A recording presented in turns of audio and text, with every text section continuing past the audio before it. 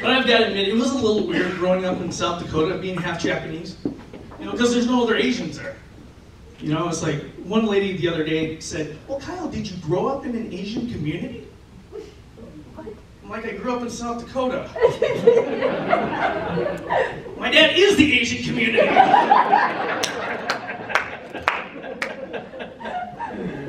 then she said, Well, if you're Japanese, you must love to eat sushi. Listen, you order sushi in South Dakota, they bring you a rainbow trout with Rice-A-Roni. with a side of ranch dressing. Here you go, sir. But it's interesting. Unfortunately, my, my parents um, have passed away. But my dad was Japanese, and my mom was, among other things, Irish. And that's kind of a weird combination, isn't it? Japanese and Irish. So basically, all that means is that I used to get really, really drunk and then take a lot of pictures. You know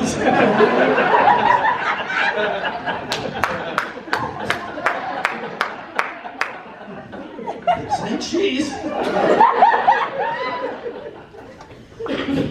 I also eat corned beef and cabbage with chopsticks.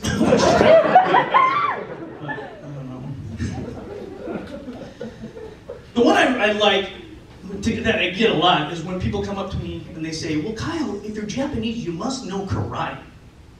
What? And they say this to me like just because of the fact that I'm half Asian, that I popped out of the womb a second degree black belt, you know? you know, like my mom was in the delivery room and I was like, Mrs. Shimada, we can see the head. Push, push.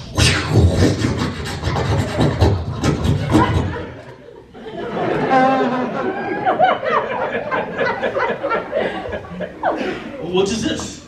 Umbilical cord?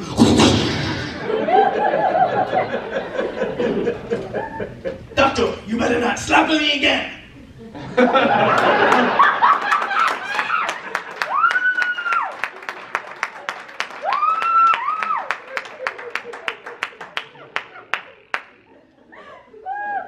the nurse comes out, congratulations, it's a ninja.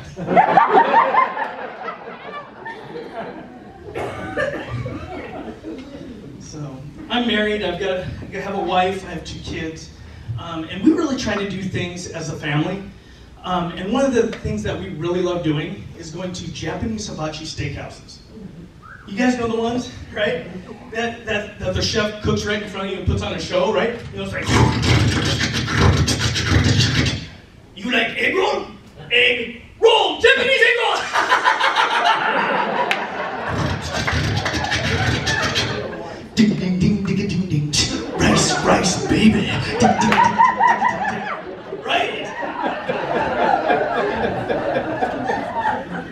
cheesy but fun at the same time, right?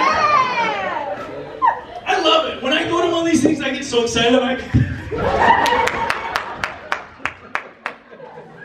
do the thing! My kids are looking at me like, Mom, can we go? Well, listen, when I go to a Japanese steakhouse, I want a Japanese chef. You know, I want the authentic thing, you know? So when I go to a Japanese steakhouse, I want my chef to be named Kasugi Yamasaki from Osaka, Japan. Last time we went, we got Paco Ramirez from Fresno.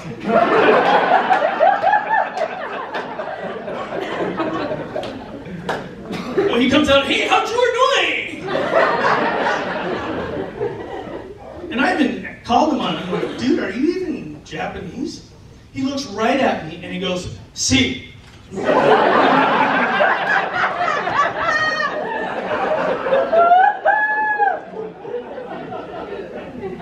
hey, yo necesito más carne para esta mesa, por favor.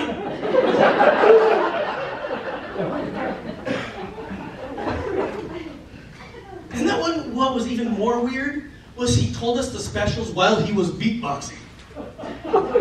You know, he was like,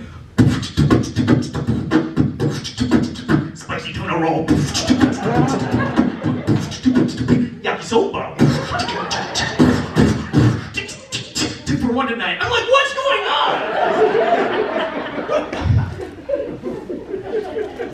I didn't know where I was. I was like, I didn't know if I, I was at a Taste of Tokyo, Casa Bonita, or the Boom Boom Dance Club.